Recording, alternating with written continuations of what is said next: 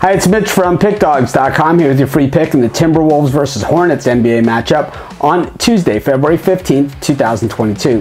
Here on YouTube, I do tons of free pick videos, so be sure to subscribe to our channel. I'll try and win every single pick I give out. We all know that's not possible, but if you're looking for the games I like the best, the ones I'm most confident, or if you're looking for best bets from some of the top handicappers in the world, head on over to our website, pickdawgz.com. Just click on the Premium Picks tab. But let's get to this one as the T-Wolves take on the Hornets. Timberwolves 30 and 27 on the season, 6 and 4 straight up and against the number in their last 10 games, while the Hornets right at 500 coming into this one, but 3 and 7 straight up in their last 10 games. You know, the Hornets can put points on the board, but that lack of defense is catching up with them as as of late they have not been able to hold teams down and it has gotten pretty ugly losing 7 of their last 8 games.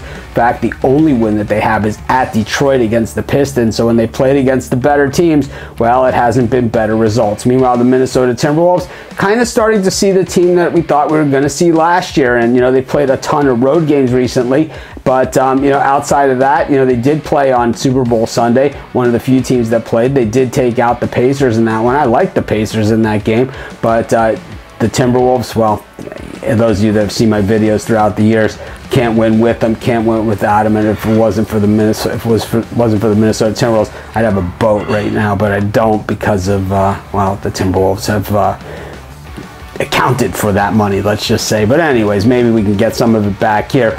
You know, the T-Wolves were on a heater before losing at Sacramento and Chicago. And, you know, like I said, ended the road trip with a win, and it was a long road trip, but, you know, here they are back home again. Meanwhile, for the Hornets, you know, like I said, a whole lot of losing and a whole lot of not covering. I think that that probably continues in this one against the Timberwolves team that is just better from top to bottom. You know, not missing too many players at this point either. And I think, you know, at full strength, the Timberwolves, at least the frontline players, can go head to head with anybody in the NBA. I'll take the Timberwolves in this one, lay the points, and that's going to be my free pick. Of course, if you like our YouTube, you love our premium YouTube, just click the join now button located directly below this video.